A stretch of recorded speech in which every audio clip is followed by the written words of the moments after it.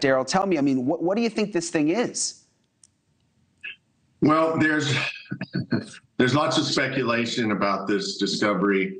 Um, I we have since uh, changed our idea. We believe that possibly may have discovered uh, what may be an ancient civilization.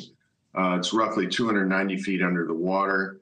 Uh, there was, uh, as you said, uh, linear projectiles out of a seawall, Uh, and then when it the linear projectiles were out of the seawall coming this direction with a strong current, and we couldn't figure out how a linear projectile could be uh, sticking out that long when you have a current that goes about eight to 10 knots constant. Mm. If it was a natural growth, then it would have bent or broke. Uh, and we did a further investigation. The group that I work with did a further investigation. And up on the plateau of that seawall, there seemed to have been what appeared to be um, foundations to buildings, roads, but ancient, uh, really old. There was formations there because Mother Nature doesn't do right angles.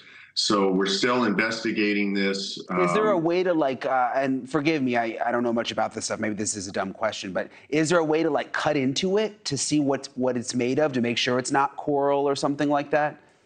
I think uh, the the guys there did a little bit of that, and they weren't able to assess exactly what the material was made of. Um, but our best guesstimate um, is that it's probably more an ancient civilization. This is 290 feet under the water.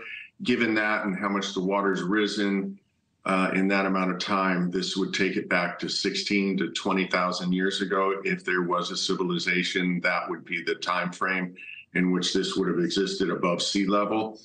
Um, there was a little bit of confusion. There was a lot of people that were speculating, oh, maybe they found a UFO, well, or a USO. Yeah. And, you know, there was a lot of speculation about that. But, you know, how things get taken out of context. Uh, I've tried to explain to most people who ask me the question, well, uh, we're not necessarily uh, believing that it's a USO or a, an unidentified flying object that sank underwater we're more apt to believe that there may be an ancient civilization.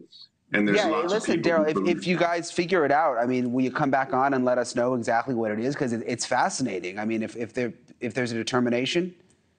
Oh, absolutely. I mean, I'd, I'd be willing to share the story. Absolutely. Okay, awesome. Thank you so much. Thank you for watching. Go to newsnationnow.com to find News Nation on your television provider. And don't forget to click the red subscribe button below to get more of News Nation's fact driven, unbiased coverage.